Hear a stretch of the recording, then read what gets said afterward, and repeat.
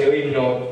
do povo xitano que foi creado por Jarko Jovanovic eh, inspirándose na vivencia do povo xitano recluído nos campos de exterminio nazis. Iso foi en 1971. Eh, teño que dicir que teño que mudar un pouco a intervención porque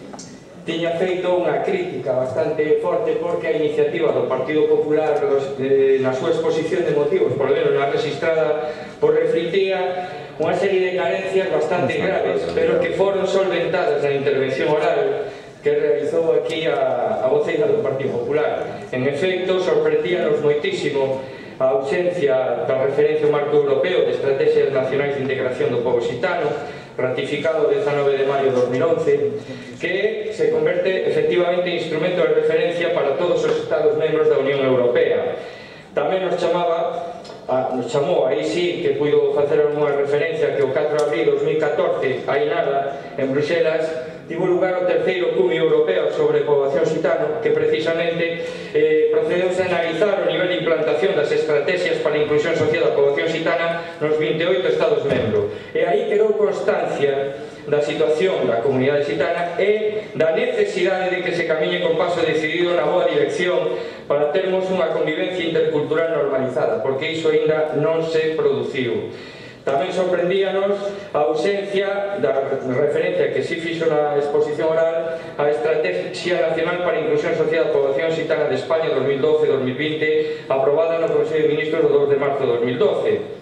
Pero eh, hai que dicir que efectivamente, como dixo a voceira do Partido Socialista, está paralizada e ademais recentemente a Rede Europea contra o Racismo a través do informe presentado por Andreas Kitarski que analiza o racismo e as prácticas discriminatorias en materia de emprego en España eh, precisamente vinculados á poboación xitana e aí comprobarán vostedes lóxicamente que a estrategia do Estado é ambiciosa pero que no 2012, nese primeiro ano non se dera ningún paso de cara a súa efectiva implementación. Ben, eh, vou, como o tempo corre que, que dá gusto, eh, vou facer un pouco memoria de, dos recortes económicos que platicou o Estado en 2011 destinaba máis dun millón de euros para o plan de desenvolvemento do povo xitano no 2012 baixou a 550.000 euros do que Galicia só se beneficiaba de 38.307 euros e que no 2013 volvía a baixar chegando aos 412.500 euros dos que Galicia simplemente recibía 28.570 euros. Por lo tanto, con este recorte, lóxicamente, é moi difícil, moi difícil implementar unha estrategia e poder levar a cabo de forma conveniente pois un plan eh, Plan Integral para a Convivencia e o Desenvolvemento Social do Povo Xitano Galicia que cuxa vixencia por rematou no 2013. Lembremos, por outra banda, que a Lei de Inclusión Social aprobada a finais de, de 2013 neste Parlamento menciona no seu artigo 57 que a Xunta de Galicia impulsará e actualizará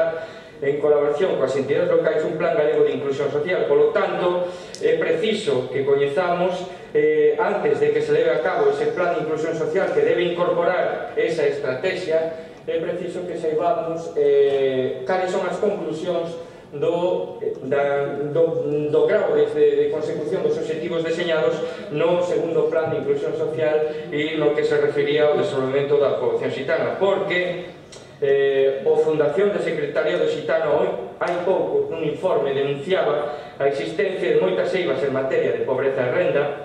e medidas de protección social, de vivenda, de emprego, de educación, de saúde, de igualdade de xénero, de discriminación directa a través de programas como Palabra de Gitano, por exemplo, persecución al racismo institucional, por exemplo, a través sufrindo e padecendo os controis por perfil étnico, tal como a poboación migrante, pois en estacións, en paradas de buses, en centros de saúde, etc., ou incluso a sospeita permanente que pesa sobre as mulleres, por exemplo, en centros comerciais cando os agentes de seguridade privada lles piden que lles ensino bolso porque pensan que inmediatamente cometeron algún acto delictivo. E isto son denuncias reais e que, que, que se están facendo no día a día e, polo tanto, demostran que temos que avanzar Nos agardamos